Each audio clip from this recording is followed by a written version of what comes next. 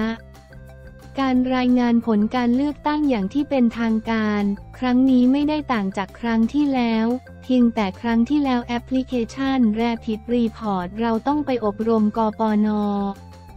ซึ่งเป็นประชาชนธรรมดามาจัดเลือกตั้งและนับคะแนน คนเกือบหนึ่งล้านคนทำงานกว่า 18 ชั่วโมง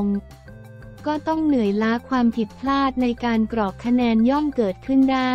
ซึ่งเราไม่อยากเสี่ยงอีก เพราะรู้ดีว่าถ้าผิดพลาดแม้แต่คะแนนเดียวเราก็ยืนอยู่ไม่ได้ตรงนั้นจึงเป็นบทเรียนให้เราต้องแก้ไขและจัดทำระบบ เพื่อที่วันเลือกตั้งจะได้ไม่ผิดพลาด อย่าให้ประชาชนเกิดความเคลือบแคลงในการทำงานของเรา จึงออกแบบในทุกขั้นตอนให้โปร่งใส ถ้าเกิดความผิดปกติ สามารถมองเห็น หรือตรวจสอบได้ นายแสวงกล่าว นายแสวง กล่าวยืนยันว่า ในการเลือกตั้งครั้งนี้จะไม่เป็นปัญหาเรื่องการนับคะแนนนอกราชอาณาจักรอย่างที่ คณะกรรมการป้องกันและปราบปรามการทุจริตแห่งชาติ กปช มีมิติชี้มูลความผิดอดีตรองเลขาธิการกกต ฐานละเว้นไม่รับมอบติดตามถุงเมการทูตบรรจุซองใส่บัตรเลือกตั้งสสนอกราชอาณาจักรปี 2562 โดยกกต ได้เตรียมแผนบริหารความเสี่ยงถุงเมการทูตไว้แล้ว เรียกได้ว่าไม่ให้คลาดสายตา เราจะตามตลอดว่าทำอย่างไรถุงเมจึงจะมาถึงก่อนวันเลือกตั้ง และเมื่อมาถึงประเทศไทยแล้ว จะมีการคัดแยกลงคะแนนส่งไปนับคะแนนยังสถานที่นับคะแนนของผู้ใช้สิทธิ์ที่มีภูมิลำเนาอยู่ในประเทศไทย ยืนยันว่าจะไม่ให้เกิดปัญหาเรื่องความสูญเปล่าอีก ส่วนการแบ่งเขตเลือกตั้งกกตได้เตรียมการไว้แล้ว กรณีหากสารรัฐธรรมนูญมีคำวินิจฉัยในวันที่ 3 มีนาคม ว่าการคำนวณจำนวนสสที่แต่ละจังหวัดพึงมี และการแบ่งเขตเลือกตั้งไม่สามารถนับรวมราษฎรที่ไม่มีสัญชาติไทยได้ ขอให้สบายใจได้ทุกอย่างยังเป็นไปตามเวลาและแผนงานที่วางไว้ อาจมีขยับบ้าง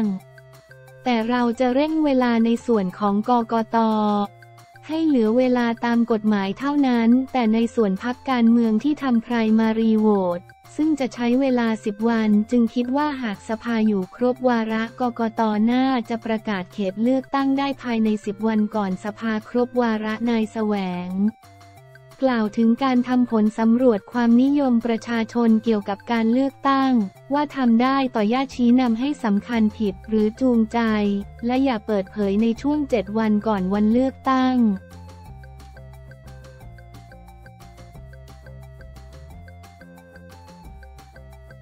จุ้มเหม่งมีอะไรขึ้นแท่นเบอร์หนึ่งวงการสี่ขารับรางวัล Thailand Social Award จุ้มเหม่งมีอะไร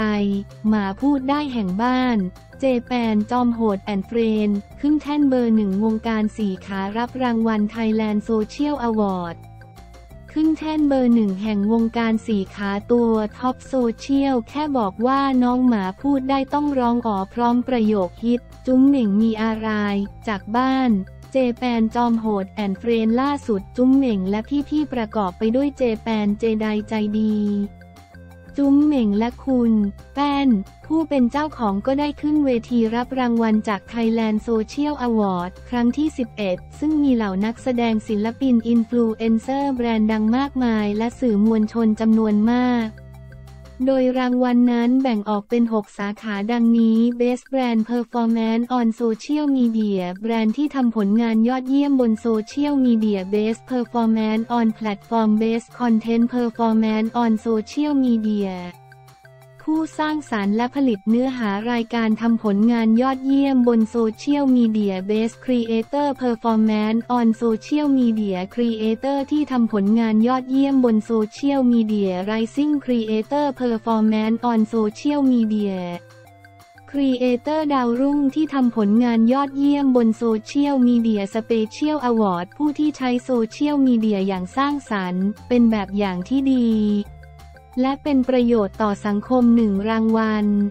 โดยเป็นกลุ่มรางวัลใหม่ที่ได้ถูกเพิ่มขึ้นมาเป็นครั้งแรกในปีนี้ ซึ่งจุ้มเหม่ง ก็นำทัพยกมาทั้งบ้าน เจแปนจอมโหด and Friendขึ้นรับรางวัลเป็นผู้ชนะ Thailand Social Award ครั้งที่ 11 ในกลุ่มรางวัล Best Creator Performance on Social Media สาขาเพชร เรียกได้ว่าสมกับเป็นตัวตึงวัยรุ่นสี่ขาจริงๆ ขอแสดงความยินดีกับจุ้มเหม่งและบ้านเจแปนจอมโหด and Friend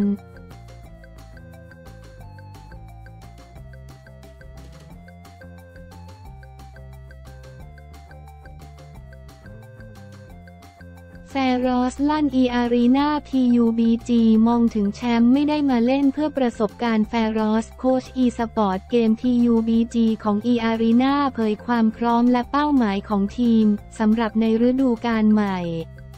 พร้อมยกแคมป์ทีมช่วย support การเตรียมตัวได้อย่างดีเยี่ยม โดยเมื่อวันที่ 23 กุมภาพันธ์ แฟรอสและทีม eArenaได้เดินทางมาที่สำนักงานข่าวสด พร้อมให้สัมภาษณ์ถึงความพร้อมของทีม ว่าความพร้อมสำหรับทีมผมมองไว้ว่าตอนนี้อยู่ประมาณ 90%โดยไลน์อัพชุดนี้ถือว่าลงตัวดี ไม่รู้สึกว่าขาด หรือเกินในส่วนใดแต่ยังอยู่ที่เรื่องของเวลาหากเราได้เวลามากกว่านี้ ก็น่าจะดีมากขึ้นกว่านี้อย่างน้องคนใหม่ หรือรวมถึงนักวิเคราะห์คนใหม่ที่เพิ่งเข้ามา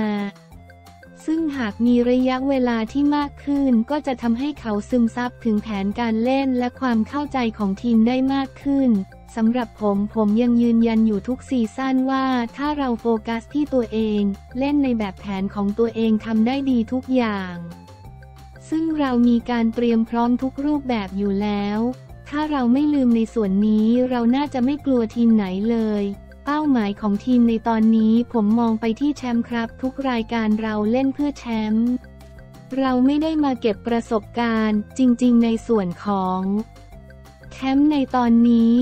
MQDC BOOTCAMP ความแตกต่างกับแคมป์ทั่วไปในความเข้าใจของนักกีฬา คือแคมป์ทั่วไปปกติจะเป็นบ้านหรืออาคารทั่วไป ซึ่งด้วยขนาดและองค์ประกอบมันจะไม่ได้ พร้อมเหมือนกับแคมป์ที่เรามีในตอนนี้ หมายความว่าขนาดที่มันใหญ่ของแคมป์เรามันสามารถ support ในหลายๆ ด้านได้ ยกตัวอย่างเช่น ห้องพักนักกีฬาหรือสระว่ายน้ำหรือห้องซ้อมของนักกีฬามันค่อนข้าง support ได้ดีเรียกได้ว่าเป็นแคมป์ที่ตอบโจทย์สำหรับนักกีฬา e-sport ฝากถึงแฟนๆ นะครับ ทางพวกเรา e arena ทุกคนตั้งใจกับการแข่งขันนี้เต็มที่มากๆ ไม่ว่าผลจะออกมาเป็นอย่างไร